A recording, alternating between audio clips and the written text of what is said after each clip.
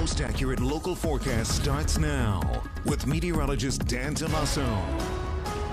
Dan, good to see you. Great to see you, my friend. It's been a very nice week so far. We keep delivering good news day after day. And this goes back to the weekend. Remember how Yeah. nice that was? And I feel like each day has almost gotten just a little bit better.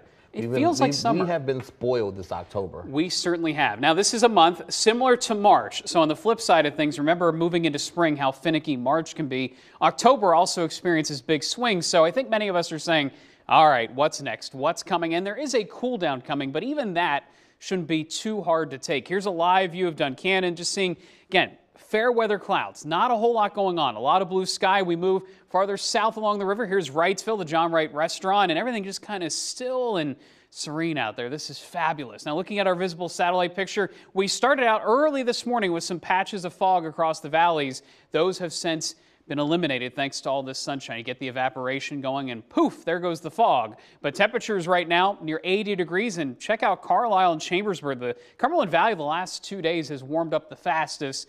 Once again, overachieving a little bit there in the temperature department. The one thing you will notice might be a good day to run the AC because if you leave the windows open for too long, there is some moisture in the air. Not saying it's overly humid, but certainly more than there has been over the last couple of days. And air conditioning certainly helps remove that from the air in your home. Temperatures today will likely be right at their highs from yesterday, near 82 degrees. No records being set. The record's still 88. So we need to get closer to 90 to see those types of record numbers. By the way, we are getting into the time of the year that frosts do become more and more common. That record low of 31 degrees shows it can happen this time of the year, but not the case here tonight and not the case in the near future. Temperatures will be dropping into the 70s this evening. Still a great time to be outside.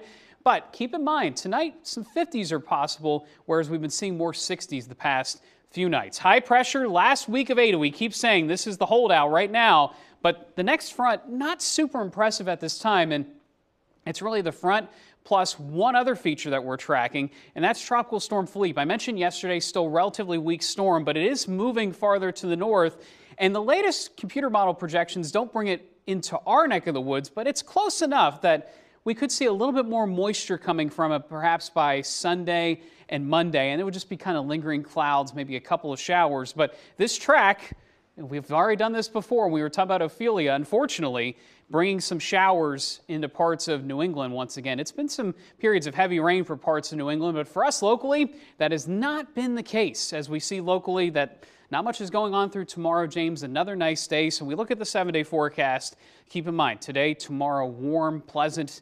Not seeing too many changes there. It's Friday and Saturday, some additional clouds, a little bit of moisture. As I mentioned, Philippe could throw more clouds our way by Sunday and Monday, depending on the track. But either way, 50s by Sunday and Monday for highs, not lows, for highs. The change is coming. The change is coming. So I mentioned we tend to see that flip happen. It will mm-hmm. happen by the time we get to the end of the weekend. All right, Dan, thank you very much. Sure. Up next, the auto